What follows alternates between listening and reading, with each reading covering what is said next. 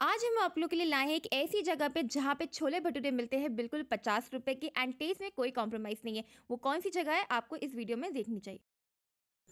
Hey guys welcome back to channel आज की कहानी की शुरुआत हो रही है हमारी पुरानी यादों के साथ, जहाँ हम आपको बताने वाले छोले भटूरे, वो भी ज़बरदस्त वाले। चलिए शुरुआत करते हैं इस वीडियो की।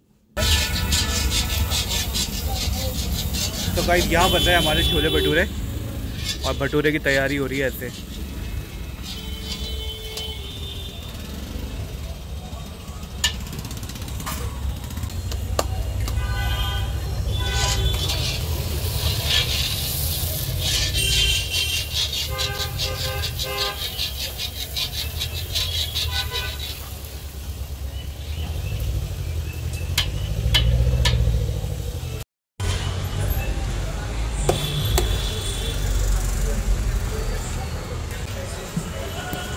यहाँ लग रहे हैं। और यहाँ लग रहे हैं आलू।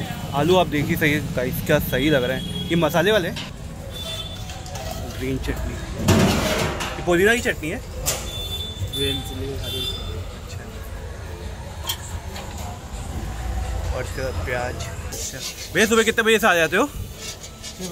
छः बजे से? छः बजे से आ जाते हैं। कहीं अगर आप आ रहे हो ना तो यहाँ आपको छः बजे से छोले भटूरे मिलने लग जाएँगे। भैया मसाला अलग से मिक्स करते हैं उसमें? हाँ। तो गई इसमें अलग से मसाला मिक्स होता है और मिक्स होने के बाद ऐसे दिखते हैं।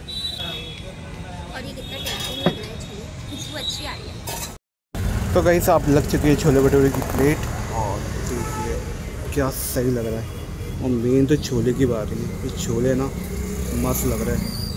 आते हुए ग्रीन चटनी आ गई है हमारे पास। उसके साथ ये आलू और भटूरे जल्दी से टेस्ट करते हैं, आपको बता दें इसका टेस्ट कैसा तो गाइस अब फाइनली ट्राई करते हैं हम छोले भटूरे यहाँ के। पहले हम डालते हैं छोटे से छोले।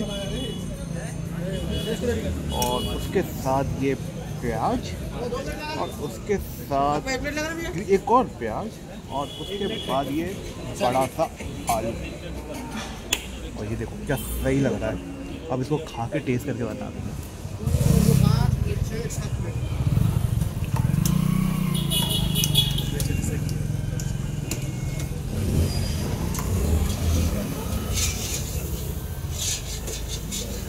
मज़ेदार है, बहुत सही है। ये छोले का टेस्ट आ रहा है ना, बहुत ज़्यादा तो भाई ये छोले देखिए, जो मुँह में जाके घुल रहे हैं ना, मज़ा आता है। जो ऑथेंटिक छोले का होता है ना टेस्ट छोले भटूरे का वही है। और मेन इसके आलू इसकी यूएसबी ही आलू है। आलू के साथ खाओगे तो ही मज़ा आएगा। और मसाले जो जा रहे हैं ना एक नंबर। और इसके साथ जो हरी मिर्च और प्याज का जो फ्लेवर आ रहा है ना अलग ही किस्म तो कहीं यहाँ पर आना है तो आपको मिल जाएगा स्टार कैफ़े जिसका एड्रेस भैया बता देंगे। भैया एड्रेस क्या है? ये बेसमेंट मार्केट है साफ़ नंबर एक सौ सात यू ब्लॉक यू ब्लॉक में। तो कहीं आओ और छोले भटूरे खाओ, मस्त वाले।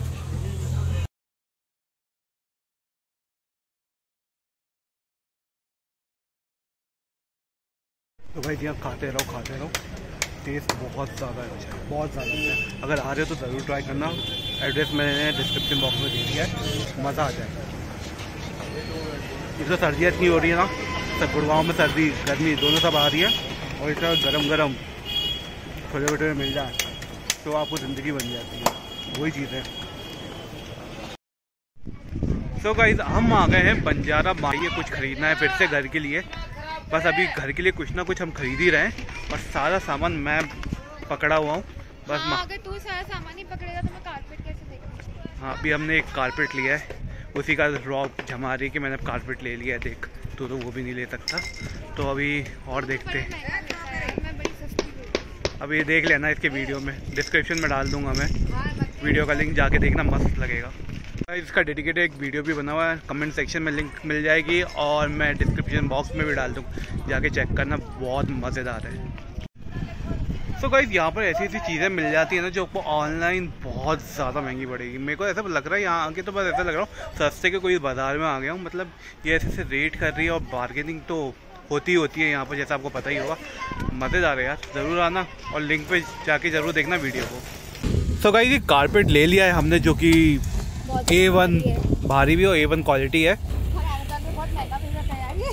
अमेज़ोन पे जैसे कि बता रही है बहुत महँगा था लेकिन यहाँ तो बहुत सस्ता मिल गया ऐसा तो उम्मीद भी नहीं थी ऐसा भी कुछ होता है यहाँ। मुझे तो बहुत उम्मीद है मुझे तो पता है यहाँ पे किसका मिल जाएगा। तो गाइस देखो क्वालिटी भी सही दिख रही है मुझे तो।